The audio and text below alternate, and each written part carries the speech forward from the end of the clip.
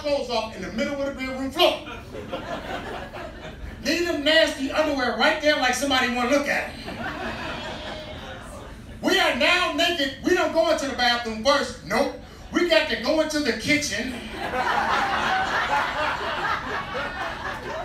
Talk about what I'm gonna eat when I get out the shower.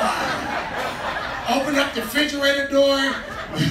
you looking around. You scratching body parts. You farting. Man, that pizza sure look good. I gotta get me a couple slices when I get out. Shut the door.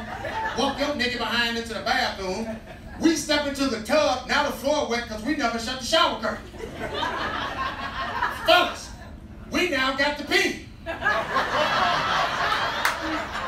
Oh, we're not getting back out. Oh no, we're not getting back out. There's a couple things we do. We will step to the back of the tub and pee down that drain, or we will stick our foot out the tub, lift the toilet seat up, and try to pee from in the tub into the toilet.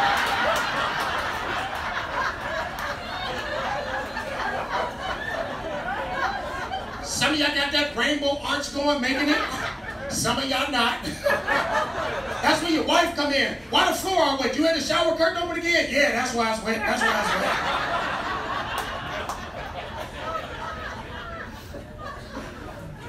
We got one face towel that we use for our whole body. We start off washing the lower half of our body first. Then we wash our face with the same rag.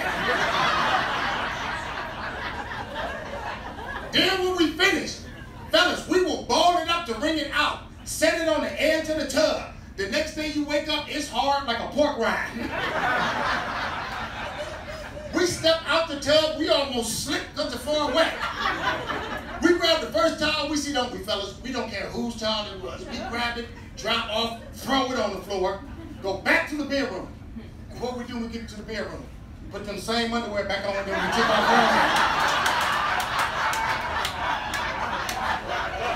Look at some of the wives like, he know you, honey.